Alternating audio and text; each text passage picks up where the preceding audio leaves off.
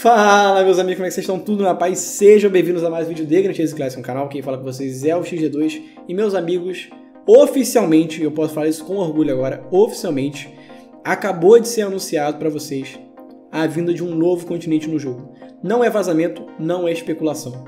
Essa informação está direto na página da Steam do jogo, obviamente, e vocês podem conferir a imagem que está na tela. Ela diz o seguinte: 2022.06.2 New Update. It's time to start again. E tem a imagem dos mapa mundi com um continente inédito, né, ali em foco. O que isso significa? Bem, dia 2 do 6, a gente sabe que a próxima manutenção é a primeira manutenção de junho de 2022. Lembrando que vai ter outra no fim do mês. E essa manutenção, a princípio, só traria o Vegas como personagem inédito, inédito entre aspas, né, ser relançado. Eu falei para vocês que a gente está nesse ritmo de uma manutenção com conteúdo inédito e outra sem. Então o Vegas viria com algo inédito. Eu só não imaginava que seria, como vocês estão acabando de ver aqui, um continente novo. Isso era inevitável. Com um jogo que fez o sucesso que fez, com um ano de trabalho, eu falo para vocês todos os dias isso aqui. Viriam classes, personagens, missões e continentes. Agora se resta a dúvida, esse continente vai ser continuação de Arquimedia? Qual vai ser o nível exigido desse continente? Ele vai ser um filler? Semelhante ao que foi Atom durante muito tempo. Enfim, vocês podem concluir aí vendo a imagem, é que de fato esse é um pequeno arquipélago, né? Você tem aí ilhas que são é, uma ilha vermelha, uma ilha que parece ser de gelo, uma ilha mais desértica e uma parte rochosa.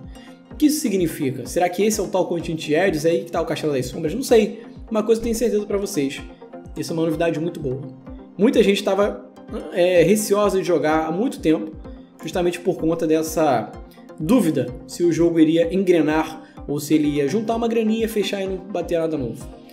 Já não é de hoje que a gente vê coisas novas, Chase Level, Chase Visual, Rainha Gorgos, que inclusive está ativo agora. E agora chegou um ponto que a gente vai começar a engrenar de vez, tá? Depois do Uno, então, se agora com Vegas vai vir um continente novo, vocês podem aguardar que pós Uno vocês vai vir uma classe um personagem. Isso é inevitável. E olha, eu fico feliz em poder dar essa informação para vocês. É um ano aqui com vocês nessa luta, um ano é, tentando motivar vocês a se empolgarem, que eu imaginava que isso ia acontecer e estou feliz de, ter, de estar certo. Né? Não para falar que eu estou certo, mas é porque isso aqui, isso que a gente está vendo hoje, isso que a gente está vendo agora, traz boas coisas para o jogo.